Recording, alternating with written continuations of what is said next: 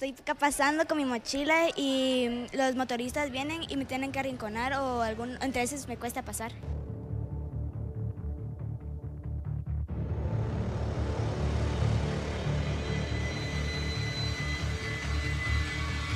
Hace como dos semanas me atropellaron. Sí, me pasaron el pie y tuve un yeso.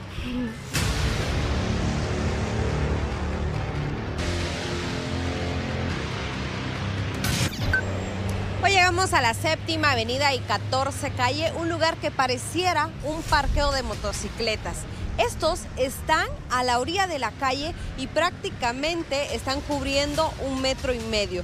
Pasan uno por uno porque les es difícil el acceso. Y lo peor es de que aquí hay una escuela donde las alumnas que vienen durante la mañana también les cuesta pasar. Eh, la verdad que es lamentable porque esta es una zona escolar y ya tenemos como unos dos años aproximadamente con el problema de las motos acá. Hay algunas maestras que se han caído, padres de familia también se han caído.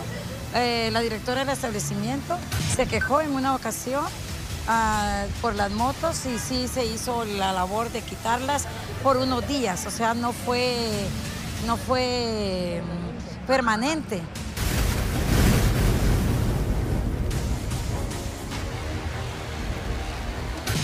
Nuestro bus ya no se puede estacionar porque tiene que ponerse enfrente. Nosotros estamos quejándonos por esta situación, no porque los señores nos estén estorbando o nos estén haciendo algún daño, sino porque realmente es un problema para la seguridad de nuestras niñas.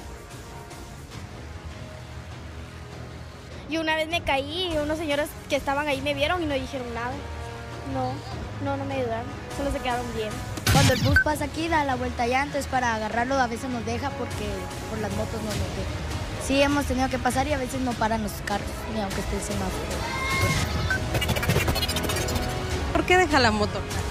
Ya no hay espacio para dejarla y tengo que ir a hacer un mandado. Como no podemos dejarla lejos porque nos las cobran. ¿Cuánto tiempo deja usted su moto acá? Por más de unos cinco minutos. Nos acercamos al inmueble para solicitar información del por qué estacionan sus motos en las banquetas y no tienen un lugar adecuado. Pero esto fue lo único que nos dijeron. Voy a comentarlo, ¿sabes? ¿Me hace favor? Ajá, cuando voy a pasar la información. Muchas gracias. agradezco. Sí.